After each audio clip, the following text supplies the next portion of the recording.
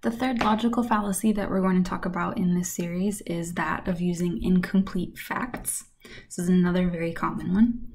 Um, it can also be referred to as card stacking or cherry picking.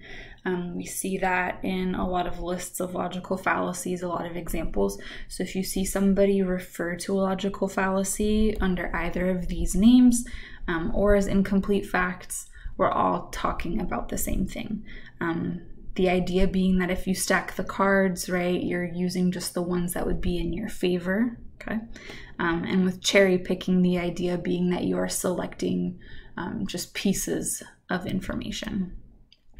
So, with this fallacy, um, it really is best summed up just by saying that it's using evidence that supports your side of the argument and only evidence that supports your side of the argument. So you are conveniently ignoring any evidence that might uh, detract from your argument, that might support somebody who is against your argument. You are just using the useful things for yourself. Um, this is very commonly used, especially when we are using quotes from people, um, whether by accident or on purpose. We see a lot of times where a quote from someone uh, isn't fully included, but only a part of it is.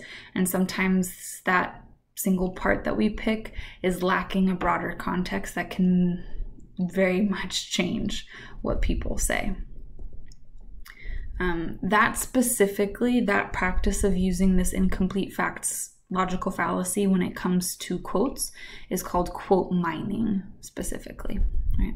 Um, and this is a logical fallacy simply because it does not accurately present all of the information on a topic. Um, it can make it seem like you have a very strong position, but just because you only include evidence from your side doesn't mean that your side is actually right. It just means that you ignored uh, a percentage of the facts instead.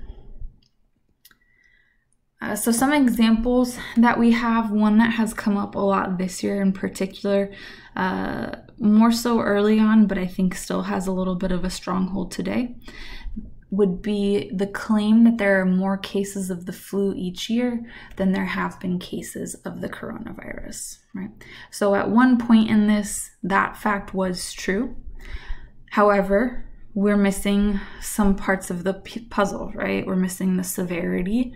Um, which one of these is more serious, uh, the transmission rate, which one of these is easier to give to somebody else, fatality, which one of these is more likely to kill somebody or leave them with very substantial lasting harm.